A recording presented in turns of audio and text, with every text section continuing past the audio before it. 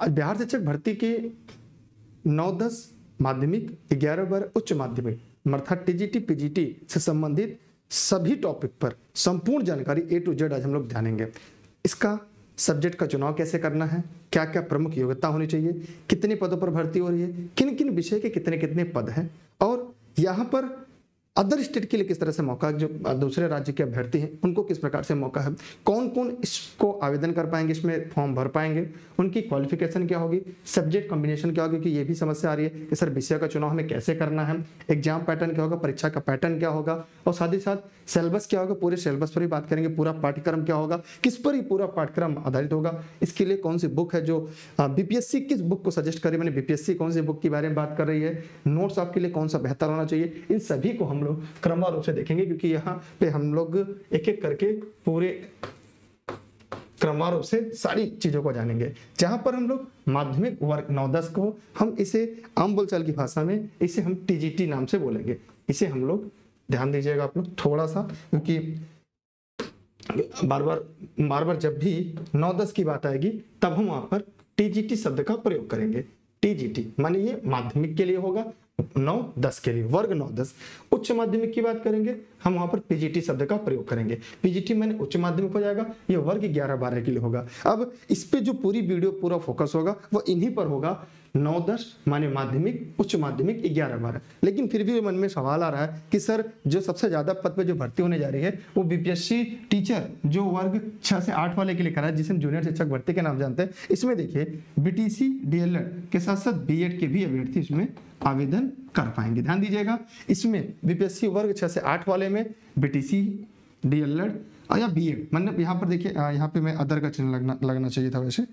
यहाँ पे जो ये चिन्ह है, ये प्लस के जगह यहाँ पे ये अब्लिक का होना चाहिए। माने आप बीटीसी हो डीएलएड हो या बीएड हो, उसके साथ साथ आपको सीटेट पेपर सेकंड पास होना अनिवार्य है। अगर आप ऐसे हैं तो आप इसमें आवेदन कर पाएँगे, इसमें आप फॉर्म भर पाएँगे। ध्यान रहे सब लोग। तो यहाँ पर हम इस पर बात नहीं करें, इसके लिए मैं सेपरेट वीडियो अलग से बना दिया फिर आगे अगर आप कमेंट करेंगे तो मैं वीडियो बना दूँगा। आज हमारा जो पूरा टॉपिक है टीजीटी जो यहाँ पर नौ दस के लिए है ठीक पीजीटी जो 11 बारह के लिए है। इनमें आवेदन करने के लिए सबसे प्रमुख रूप से आपके पास स्टेट होना चाहिए। स्टेट बिहार का, जो भी हाल ही में हुआ है। अगर जिन्होंने स्टेट दिया है, वही फॉर्म में भर सकते हैं, अन्यथा नहीं भर सकते। स्टेट पेपर फ़र्स्ट जो है, वो किसके लिए है? ये वर्ग नौ दस के लिए, मानी टीजीटी के लिए है। स्टेट पेपर टू जो है, दूसरा, वो ग्यारह बारह के लिए है, जिसे हम पीजीटी के नाम से जानते हैं। और ये केवल बीएड के अभ्यर्थी डेलड या बीटीसी के अभ्यर्थी यस्टेट नहीं दे सकते थे।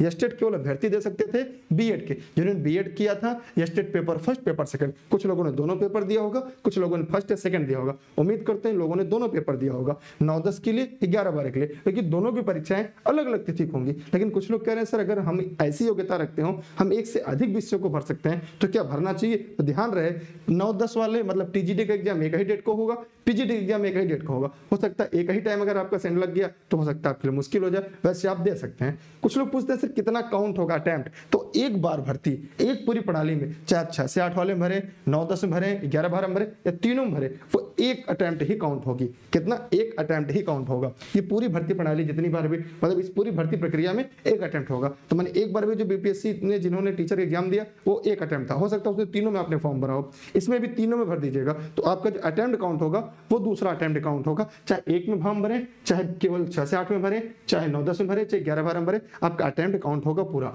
और वैसे जो स्पष्ट विज्ञप्ति है उससे पूरा पूरा साफ़ स्पष्ट हो जाएगा। ठीक है, वैसे ये बिहार शिक्षक भर्ती का फ़ेज़ दूसरा है टू है। अब हम एक एक करके सारे तथ्यों की तरफ़ चलेंगे। ये वीडियो थोड़ा सा बड़ा होगा। इस वीडियो के अंत तक बने रहिएगा। जहाँ ज़रूरत पड़े स्क्रीनशॉट ले लीजिएगा और आप अपने सवाल भी पूछ सकते हैं। कमेंट सेक्शन में पूछ सकते हैं। ई लर्निंग विद दुर्गेश के इंस्टाग्राम पर जाकर अपने सवाल पूछ सकते हैं। यहाँ पर सब्जेक्ट कॉम्बिनेशन कैसे बनेगा? कि सब लोग सोचते हैं, सर, मेरा सब्जेक्ट कैसे होगा? मैं कैसे सब्जेक्ट का चुनाव करूँ? क्वालिफिकेशन क्या होगा? इस पर भी मैं पूरा बात करूँगा। एग्ज़ाम पैटर्न क्या है? अदर स्टेट मैंने दूसरे राज्य के जो अभ्यर्थी हैं, उन्हें किस प्रकार से मौका मिल दूसरे स्टेट के अभ्यर्थियों किस तरह से परीक्षा में सम्मिलित होंगे? उनके लिए क्या प्रक्रिया है? सिलेबस क्या होगा? बुक्स क्या होगा नोट्स क्या होगा? क्योंकि ये पूरा जो बुक्स बीपीएससी जो बीपीएससी है, वो कौन सी बुक सजेस्ट कर रही है? हम उस पर भी वीडियो में बात करने वाले हैं। लेकिन उसके लिए आप इस वीडियो के अंत तक बने रहेंगे, तभी आपकी सारी जानकारी हो पाएगी। और लाइक करने के साथ साथ वीडियो को सभी मित्रों को साझा शेयर ज़रूर करिएगा। जिनको आप चाहते हैं कि बीपीएससी में के थ्रू बिहार में सरकारी शिक्षक बने, चाहे वो आपके घर के हो, चाहे आपके पड़ोस में है वीडियो लोगों तक पहुंचाते रहेगा। हम और आगे चलते हैं, आप सभी को साथ लेकर, ठीक है? अब यहाँ पर हम देखेंगे, सबसे पहले हम यहाँ पे देखेंगे, यहाँ पर एक शब्द यहाँ पे इसकी योग्यताओं की अगर हम बात करें तो सबसे पहले जो हमारे सामने आ रहा है, आपके भी सामने दिख रहा होगा, यहाँ पे कह रहा है कि ये नौ दस, हम कक्षा नौ दस के जो सामान्य है, इनके हम पूरे योग्यता की बात करते हैं, कक्षा नौ दस मतलब फिर से मैं आपके जहन में डालना चाहूँगा, हम टीजीटी की बात कर रहे हैं। टीजीटी के लिए क्या क्या योग्यता होनी चाहिए? इसके लिए सबसे पहले आपके पास ग्रेजुएशन होना चाहिए, स्नातक। स्नातक। स्नातक कम से कम 50 परसेंट के साथ। अगर स्नातक नहीं है तो आप पोस्ट ग्रेजुएट हो। ग्रेजुएट नहीं हो तो पोस्ट ग्रेजुएट होना चाहिए 50 परसेंट अंकों के साथ। और साथ ही साथ आपके पास बीएड होना अनिवार्य है। मैंने शुरू में ही बता दिया, आपके पास बीएड होना अनिवार्य है। ठीक उसके बाद वहाँ के जो बिहार राज्य के ओबीसी हैं या सी है एस टी हैं बीसी हैं, उनके लिए भी इसमें आरक्षण का प्रावधान किया गया। लेकिन फ़िलहाल अदर स्टेट के अभ्यर्थी जो हैं या जो सामान्य अभ्यर्थी हैं, उनके लिए यहाँ पर ये पचास परसेंट होगा। यहाँ पे ध्यान दीजिएगा, या बी होना चाहिए, या उनके पास पचास परसेंट अंकों सहित मान्यता प्राप्त विश्वविद्यालय से स्नातक हो या स्नातकोत्तर हो, माने यूजी हो या हो। मतलब ध्यान दीजिएगा, ये यूजी हो या पीजी हो, लेकिन इसमें पचास परसेंट अंक होना। कई बार क्या होगा यूजी में आपके अगर कम परसेंटेज है तो अगर पीजी में पचास परसेंट है तो आवेदन कर सकते हैं। ठीक है?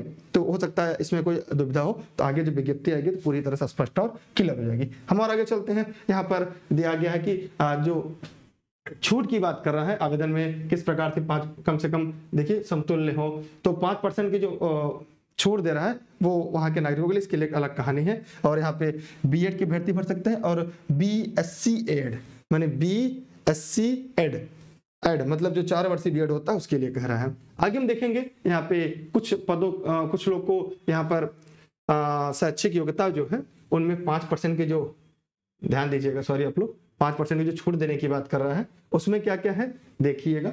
आपके विषय जो बिहार के हैं उन्हीं के लिए ये सच्ची योग्यता में अनुसूचित जाति, अनुसूचित जनजाति, अत्यंत पिछड़ा वर्ग पिछड़ा वर्ग, दिव्यांग अभ्यर्थियों को पाँच परसेंट पाँच परसेंट की हड़तांक पाँच परसेंट की छूट देगी। जो उनकी हड़तांक का हड़तांक है, उसमें पाँच परसेंट की छूट मिलने वाली है, वो यहाँ पर स्पष्ट कर दिया गया। अब इसके साथ साथ हमें देखेंगे कक्षा नौ, दस में अध्यापक पद के लिए विषय का समूह क्या होगा ये बहुत इंपॉर्टेंट सबसे ज़्यादा सब पूछते हैं, सर, विषयों का समूह कैसे बनेगा? माने हमारा जो विषय का समूह है, वो हमें किस तरह से बनाना है? तो ये वीडियो आपके लिए बहुत ही महत्वपूर्ण होने वाला है यहाँ से खासकर, क्योंकि ये सवाल सबसे ज़्यादा मन में आता है कि, सर, हम भर पाएँगे, मेरा ये विषय होगा कि नहीं होगा? तो यहाँ पर एकदम क्लियर हो जाएगा। सबसे पहले बात करते हैं गणित की। मैं आपसे बड़ा सा लिख दूँ ताकि आपको दिखाई और सुनाई दोनों देता रहे।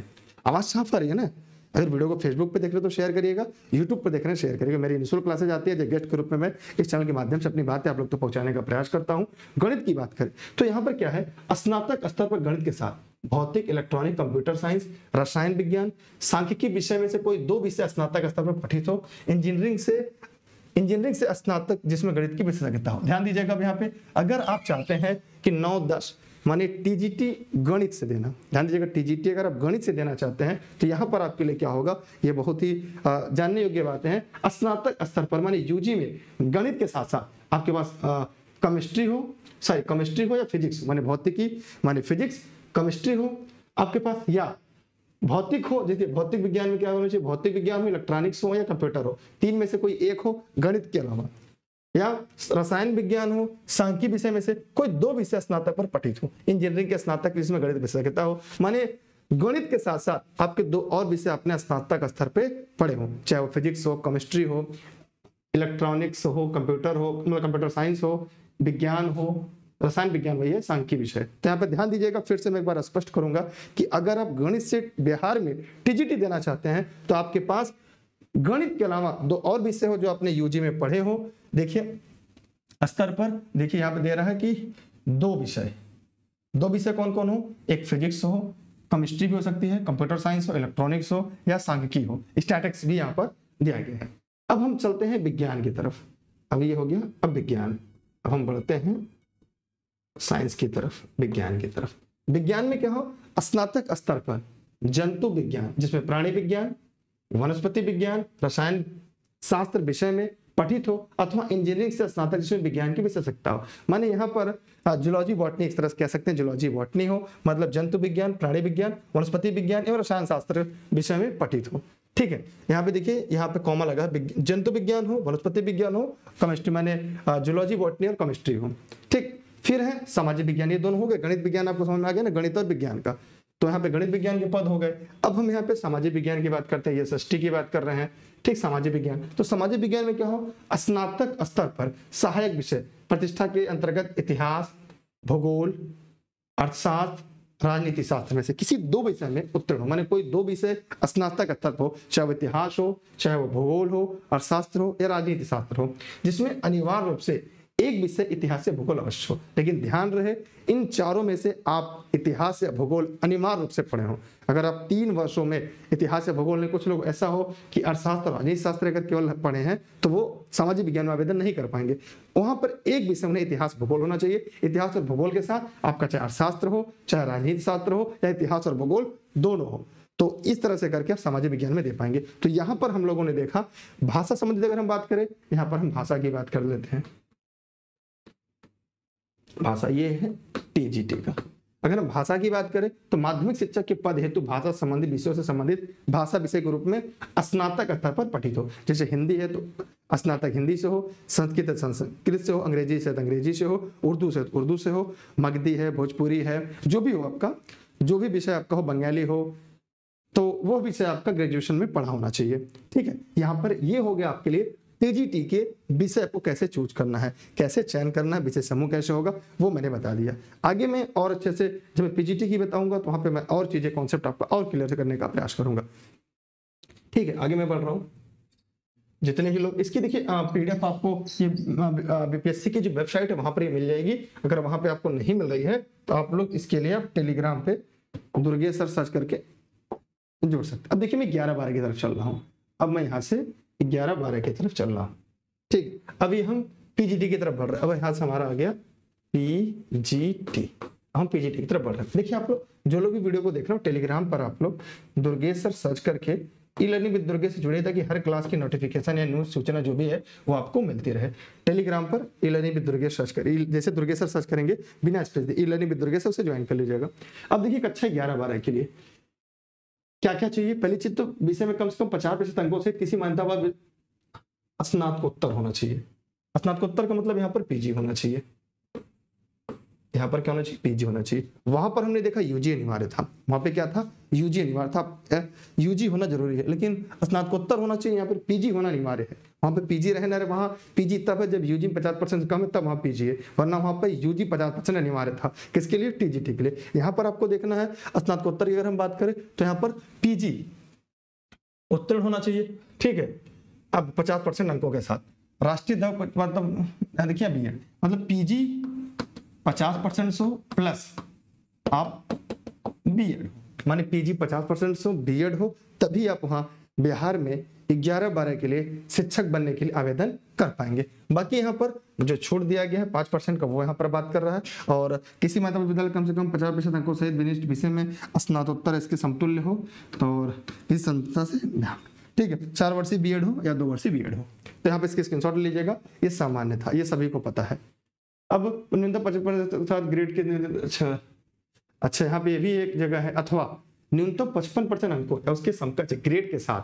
मतलब पचपन परसेंट उसके पचपन परसेंट समतुल ग्रेड के साथ साथ स्नातकोत्तर मानी पीजी हो, और तीन वर्षीय एकीकृत बीएड या एमएड हो। एकीकृत बीएड एमएड भी हो तो भी आवेदन कर सकते हैं।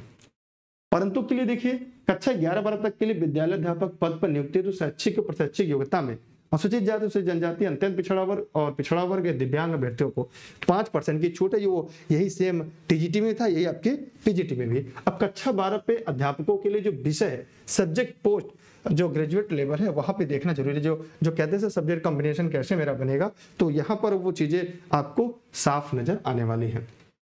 अच्छा ठीक है, इसको इधर किसका देंगे तो मुझे समझाना थोड़ा सा आसान हो जाएगा, यहाँ पे जगह मिल जाएगा। अब यहाँ पर देखिए क्या क्या है।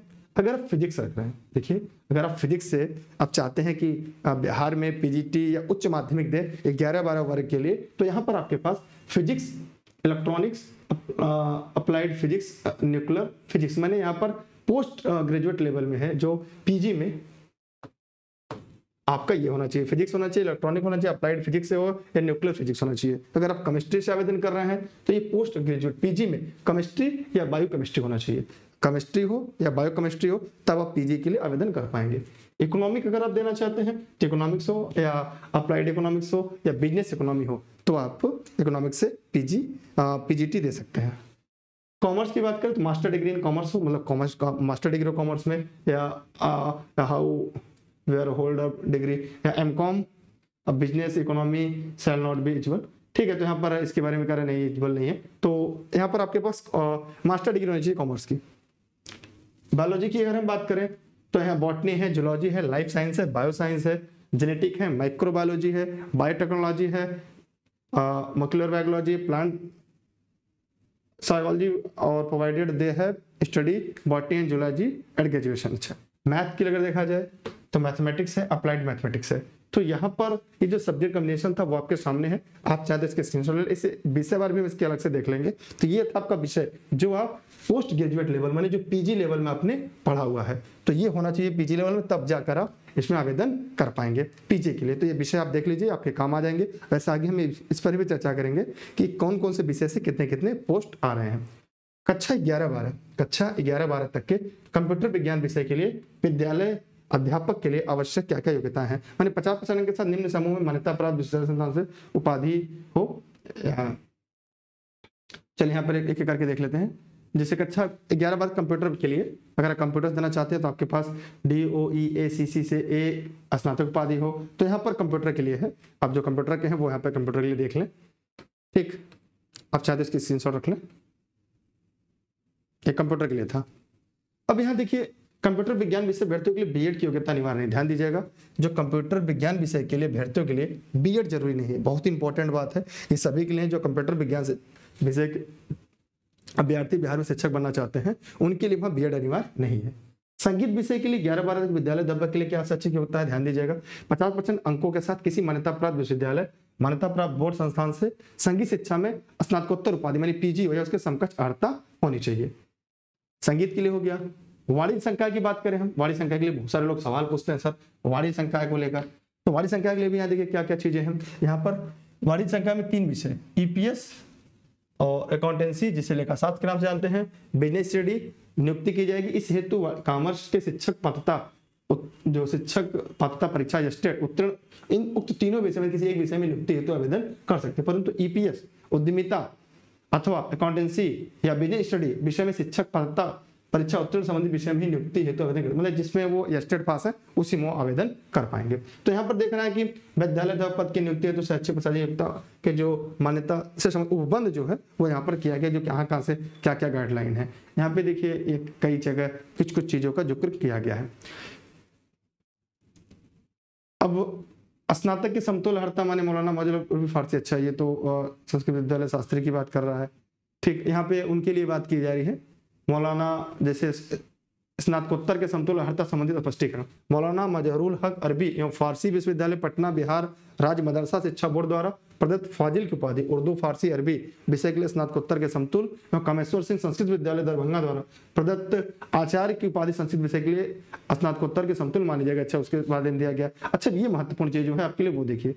राज्य सरकार जो यहाँ पर, ध्यान दीजिएगा राज्य सरकार केंद्र सरकार द्वारा समय समय पर शिक्षक पात्रता परीक्षा। तो जो CTET paper first BTET paper first है बीटेट का, ध्यान दीजिएगा, बिहार टेट तो वो यहाँ पर पीआरटी दे पाएँगे। क्या देगा प्राइमरी के लिए। माध्यमिक विद्यालय के अध्यापक के लिए स्टेट पेपर फ़र्स्ट है, माने ये होंगे नौ और दस के लिए। अब उच्च माध्यमिक, देखिए माध्यमिक विद्यालय हो उच्च माध्यमिक विद्यालय के अध्यापकों के लिए स्टेट पेपर सेकंड होगा, माने ग्यारह और बारह के लिए होगा। लेकिन जिनके लिए सी टेट या बी टेट पेपर टू जो सेकंड पेपर होगा, इनके लिए ध्यान दीजिएगा यहाँ पर, जो सेकंड पेपर होगा, ये जूनियर में जा पाएँगे ये छह से लेकर आठ वर्ग के लिए, इसमें बीटीसी और बीएड के अभ्यर्थी दोनों आते इसमें सबसे ज़्यादा पद वही है, लगभग बत्तीस हज़ार के नियर अबाउट पद है। ठीक तो यहाँ पर यहाँ पूरी की योग्यता के बारे में बात की गई है, इसकी पीडीएफ आपको टेलीग्राम पर मिल जाएगी, और आयु सीमा की बात हो गई। अब सिलेबस की एक बार बात कर लेते हैं। तो सिलेबस की अगर हम बात करें तो देखिए, सबसे पहले तो सिलेबस के लिए देख लीजिएगा। ये जो भाषा है सबसे पहले भाषा जो होनी है ध्यान देने की बात है ये भाषा। ये केवल क्वालिफाई करना है या केवल क्या करना है? क्वालिफाई करना है। आप चाहे पीआरटी के लिए दें चाहे जूनियर के लिए दें चाहे टीजीटी के लिए दें पीजीटी के लिए यह पेपर सभी के लिए अनिवार्य है। ये सभी के लिए अनिवार्य पेपर है। इसमें आ, ये समय यहाँ पे प्रश्नों की संख्या सौ होगी। 25 प्रश्न भाग एक से आएगा और 75 प्रश्न भाग दो से। भाग एक में केवल इंग्लिश है ध्यान दीजिएगा। केवल अंग्रेज़ी भाषा है। सभी के लिए समान कॉमन अंक मिलेंगे। पचहत्तर में आप चुनाव कर सकते हैं। इसमें हिंदी भाषा है, उर्दू है, बांग्ला है। तीन में से किसी एक भाषा का चयन करना है। उम्मीद करते हैं, अगर आप हमें सुन रहे हैं, पढ़ रहे हैं तो हिंदी ही चयन करेंगे।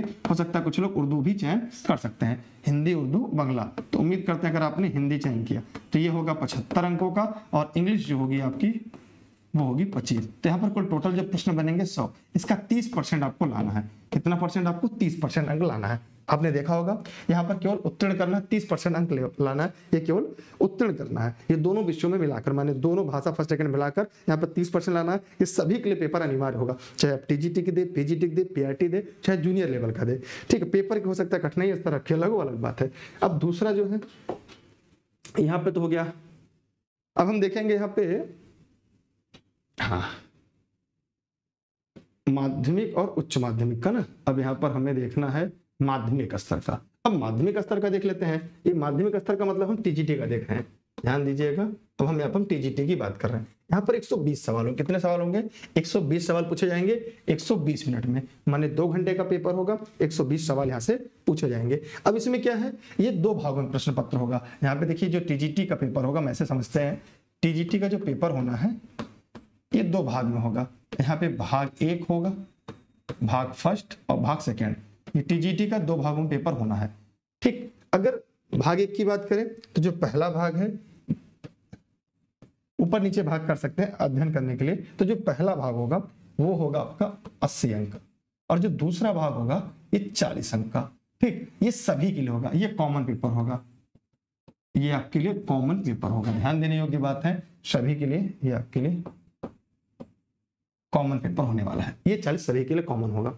अब यहाँ पे देखते हैं क्या क्या होगा। ये 80 जो होगा, देखिए यहाँ पर दिया गया 80 भागे भागे विषय पत्र उम्मीदवार द्वारा इन पत्रों में से किसी एक पत्र का चुनाव किया जाना। जैसे हिंदी, बांग्ला, उर्दू, संस्कृत, अरबी, फारसी, अंग्रेज़ी, विज्ञान और गणित। देखिए विज्ञान गणित अलग अलग होगा और सामाजिक विज्ञान अलग होगा। अब यहाँ पे जो आपका विषय होगा, जो आपका वो सब्जेक्ट होगा। ये सब्जेक्ट हो गया आपका, जो भी सब्जेक्ट हो। हो सकता है भाषा में कोई एक सब्जेक्ट ले, कोई हिंदी ले, संस्कृत ले, अरबी ले, फारसी ले बंगला ले, उर्दू ले, और हो सकता है कोई एस ले सामाजिक विज्ञान ले, हो सकता है कोई गणित ले, कोई विज्ञान ले, गणित के लिए अलग, विज्ञान के अलग अध्यापक होंगे यहाँ पे।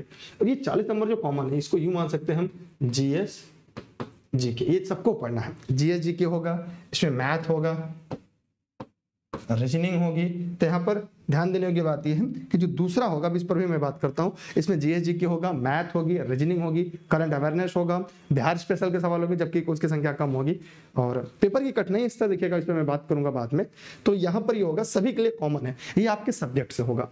और इससे सब्जेक्ट के लिए यहाँ पे साफ़ साफ़ अभी आगे देखिए ये एनसीईआरटी से संबंधित होंगे।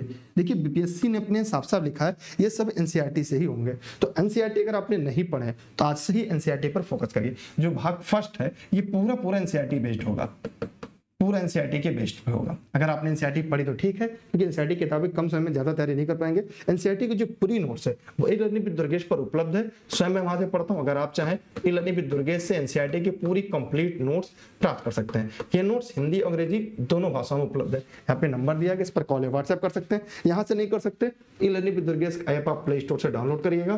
प्ले स्टोर से डाउनलोड करने के बाद पूरी आपकी कंप्लीट एनसीआरटी की नोट्स आपको मिल जाएगी, जो नए और पुराने ओल्ड और न्यू एनसीआरटी नोट्स मिलाकर तैयार है। और ये दोनों भाषा में उपलब्ध है। हिंदी भाषा में उपलब्ध है इंग्लिश भाषा में उपलब्ध कुछ लोग इंग्लिश मीडियम का अभ्यर्थी होंगे, उनको इंग्लिश में मिल जाएगी। हिंदी मीडियम का अभ्यर्थी हिंदी में मिल जाएगी। तो इससे क्या होगा, ये आपके लिए सबसे बड़ा स्कोरिंग होता है। एक बार अगर आप एनसीआरटी पढ़ लेंगे तो आपका कॉन्सेप्ट क्लियर हो जाएगा चीज़ों कहाँ कहाँ से पढ़ना है कहाँ कहाँ सबसे ज़्यादा सवाल परीक्षा में पूछे जाते हैं। दूसरी बात, ये प्रश्न की भाषा समझ में आएगी। आपने देखा बीपीएससी ने कितना जो प्रश्न का लेवल बनाया था कितना हाई लेवल था। और उसकी जो भाषा थी डिकोड जो करना है, वो आपको एनसीआरटी से होगा। तो मैं सबसे पहले कहूँगा, सबसे बेस्ट किताब जो होगी आपके लिए एनसीआरटी अगर आपने एनसीआरटी रखी तो एनसीआरटी पर फोकस करिए। अगर आपको लगता है समय कम है और आप चाहते हैं कि शॉर्ट में एनसीआरटी पूरा पढ़ लें एनसीआरटी के सोल्यूशन को पूरा पढ़ लें तो आप एनसीआरटी की ई लर्निंग नोट्स ले सकते हैं। यहाँ पूरे नोट्स साथ साथ आपको सोल्यूशन भी इसका मिल जाएगा। सभी विषय की मिल जाएगी। इसमें एसएसटी की कंप्लीट आपको मिल जाएगी। इसमें आपको साइंस मिल जाएगी मैथ मिल जाएगी लैंग्वेज हिंदी, अंग्रेज़ी आपको मिल जाएगी। जो पूरी कंप्लीट कॉमर्स भी यहाँ पर मिल जाएगी। तो ये सब्जेक्ट आपको यहाँ से आसानी से मिल जाएँगे,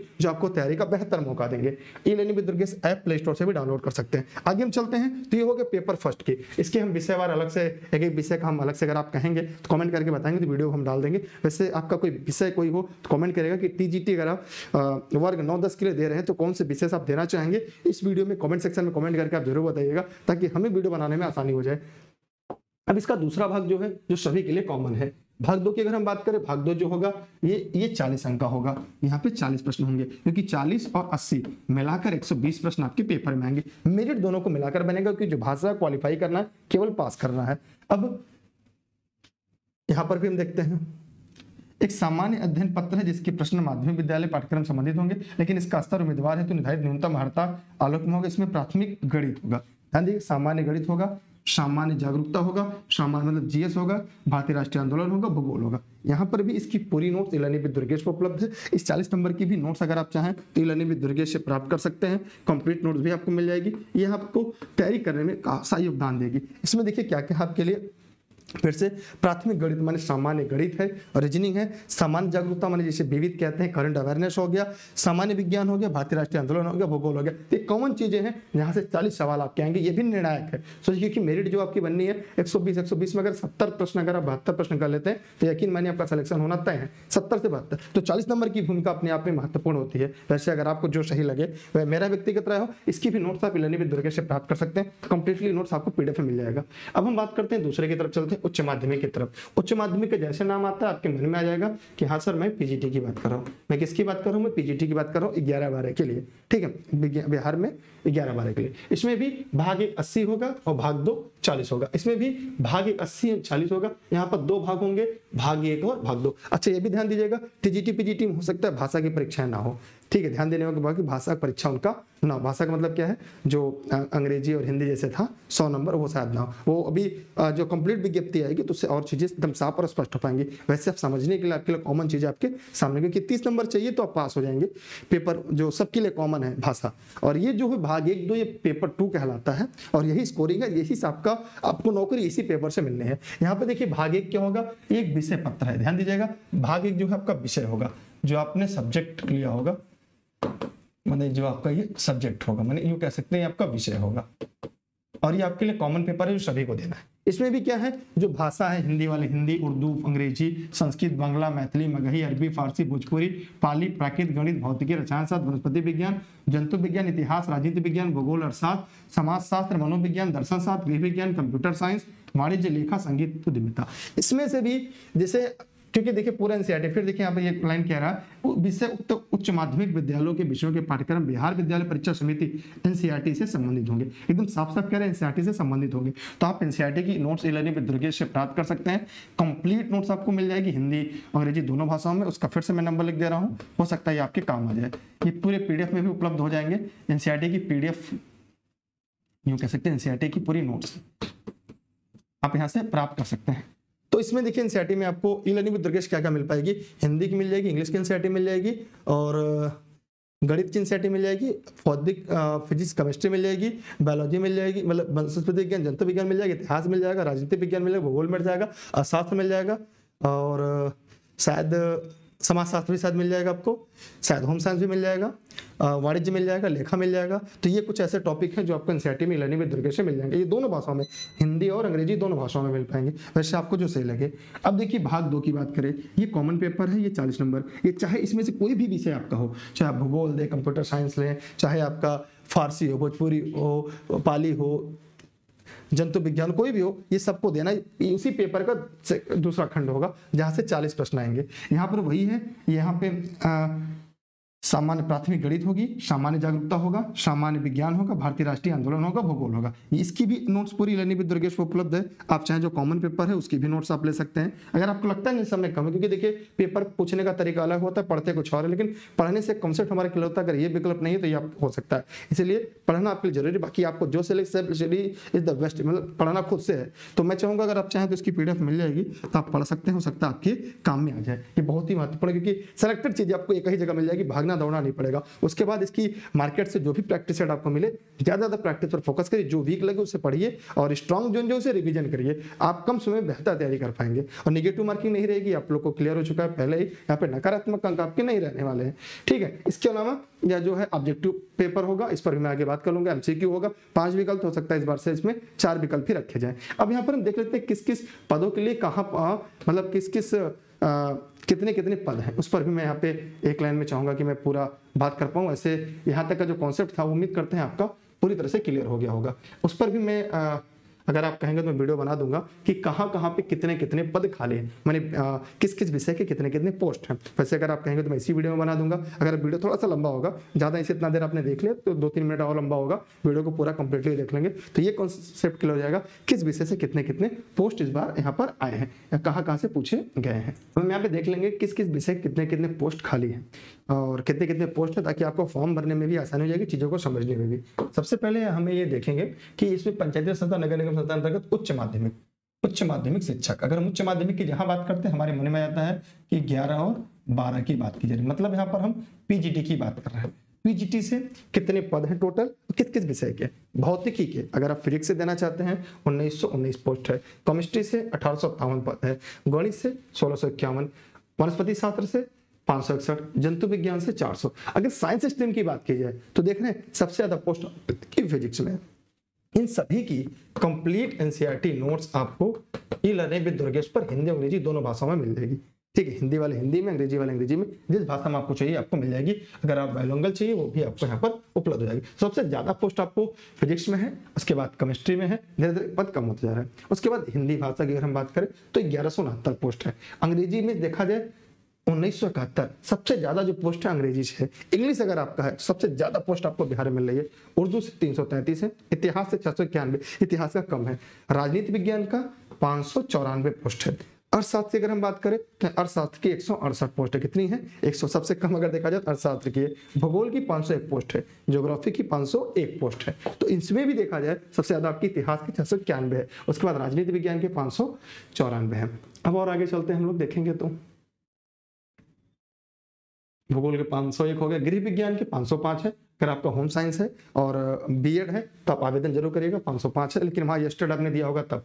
समाज शास्त्र के 823 पोस्ट है, दर्शन शास्त्र 108 संगीत के पाँच कंप्यूटर विज्ञान एक सौ बहत्तर, बैंगला सात, अरबी चौदह, भोजपुरी के दो है, मैथिली के एक सौ पचपन है, पाली के चार है, फारसी के इक्कीस है, संस्कृत एक सौ छियासी है एनआरबी सत्ताईस है एनपीएस तीन तिरसठ है बिज़नेस स्टडी है, तिरानवे, लेखा शास्त्र एक सौ बासठ। कुल अट्ठारह हज़ार आठ सौ तीस पोस्ट है, पदों की संख्या बढ़ सकती है, क्योंकि बार बार कहा गया है और इस बार उम्मीद भी लगाई जाए लगभग डेढ़ गुना पद हो जाएँगे, मैंने पद की संख्या बढ़नी तय है। तो ये हमारा हो गया पीजीटी के जो पद थे, वो ग्यारह बारह के लिए। अब हम यहाँ पे देख लेते हैं, उच्च माध्यमिक है तो उच्च माध्यमिक के शिक्षकों की अगर हम बात करें यहाँ पर तो ये हो गया आपका, जिसे हम टीजीटी के नाम से बार बार पुकार रहे हैं। मतलब ये आपके नौ और दस के लिए है। यहाँ पर सामाजिक विज्ञान के 1922 पोस्ट हैं। ठीक, गणित के बाईस पद हैं, विज्ञान के 2320 है, हिंदी के चौतीस अंग्रेज़ी के चौतीस सबसे ज़्यादा फिर जो पोस्ट है, इंग्लिश के सबसे ज़्यादा है। अंग्रेज़ी वाले अभ्यर्थियों के लिए तो यहाँ पे देखिए बल्ले बल्ले है बिहार में।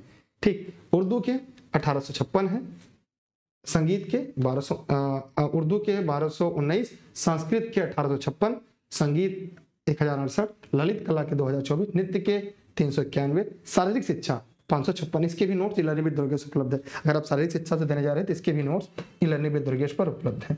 एनसीआरटी सारी शिक्षा की एनसीआरटी है, गणित की एनसीआरटी विज्ञान की, हिंदी की, अंग्रेज़ी की इनकी एनसीआरटी आपको इलानी विद दुर्गेश मिल जाएगी। मैथिली अगर देखा जाए तो मैथिली की अस्सी पोस्ट है, अरेबी के पंद्रह है, फारसी को उनचास है बांग्ला का छब्बीस, कुल अठारह पोस्ट है। माने अगर हम टीजीटी की बात करें, अठारह लगभग अठारह हज़ार है, अठारह हज़ार वहाँ पोस्ट है। छत्तीस हज़ार पोस्ट है, ये पोस्ट की संख्या, पदों की संख्या बढ़ सकती है।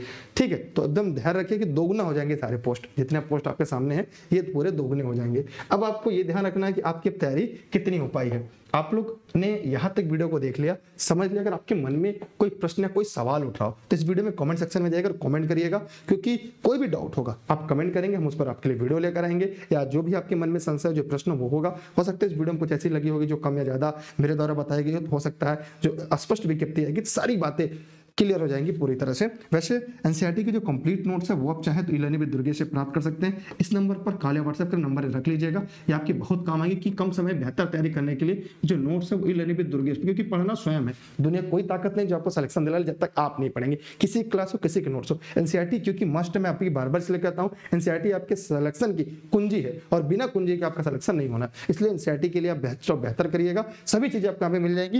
यहाँ पे और टेलीग्राम पर, अभी तक आप टेलीग्राम पर नहीं जुड़े हैं तो दुर्गेश सर सर्च करके टेलीग्राम पर जुड़ जाइएगा, ताकि सभी क्लास की नोटिफिकेशन लिंक आपको सब कुछ एक ही जगह आपको क्रम से मिलते रहे। ये वीडियो फेसबुक पे देख रहे हैं तो पेज को फॉलो करिएगा विद दुर्गेश को वीडियो को शेयर करिएगा।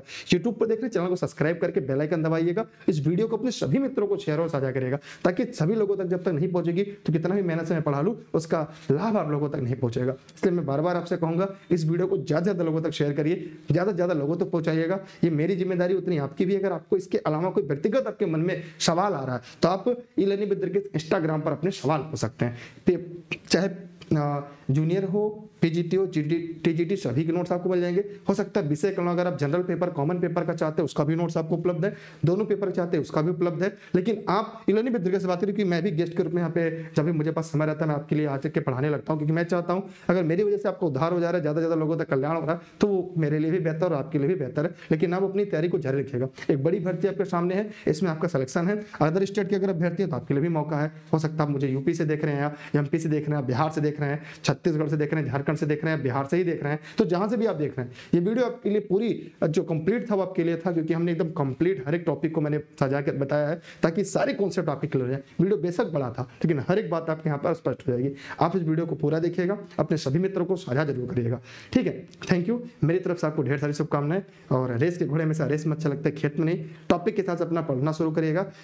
सरल चीज़ें जो आपको लगती है, उसे रिवीजन लगी, जो लगता है कठिन है, उसे कोशिश करेगा दोबारा तिबारा पढ़ने के लिए। एनसीईआरटी पढ़ने के बाद मार्केट से कोई किताब लीजिए, क्योंकि मार्केट जो किताबें हैं, वो कवर नहीं कर पाएँगे। क्योंकि जो प्रश्न की भाषा होती है, वो एनसीईआरटी से मिलती है। एनसीईआरटी उतना आसान है जितना लोग कहते हैं। ओल्ड और न्यू दोनों एनसीईआरटी पढ़ने अगर आपके पास एनसीईआरटी बुक्स हो तो सबसे पहले उसको पढ़िएगा अंडरलाइन करिएगा, साथ शॉर्ट में एक नोट्स बना लीजिएगा, ताकि दोबारा जब परीक्षा समय पढ़ना हो तो रिविजन करने का मौका मिले। कुछ एनसीईआरटी छह से बारह तक पढ़नी है, कुछ एनसीईआरटी नौ, दस, ग्यारह, बारह के लिए आती है उनके लिए। तो जो एनसीईआरटी जहाँ से जहाँ तक है, उसको वहाँ तक पढ़ने का प्रयास करेगा जैसे अगर एस की मैं बात करूँ सामाजिक विज्ञान की मैं बात करूँ तो उसमें जो सिविक्स है, जैसे जो पॉलिटिकल साइंस के नाम से जाना जाता है, राजनीति शास्त्र जो था, वो छह से बारह मिल जाएगा, इतिहास छह से बारह मिल जाएगा, भूगोल छह से बारह, लेकिन इकोनॉमिक्स जो है ना, वो नौ, दस, ग्यारह, बारह, नौ से बारह चलती है। और उसी तरह का सारी शिक्षा की बात करें तो ग्यारह, बारह में चलता है। कॉमर्स अगर हम बात करें तो केवल ग्यारह, बारह में तो कुछ विषय ऐसे हैं जो जिन कक्षाओं के लिए हैं तो उन कक्षाओं के लिए आपको ही पढ़ना है। लेकिन एनसीआरटी में जहाँ जहाँ क्लासेस चलती हैं, वहाँ वहाँ से आपको कवर करना है और पढ़ना है।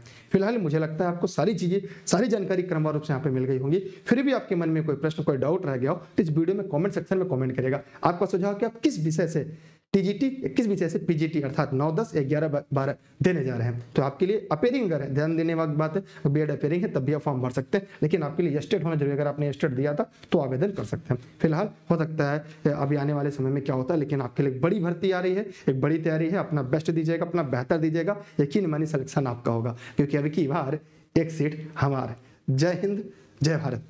Bye bye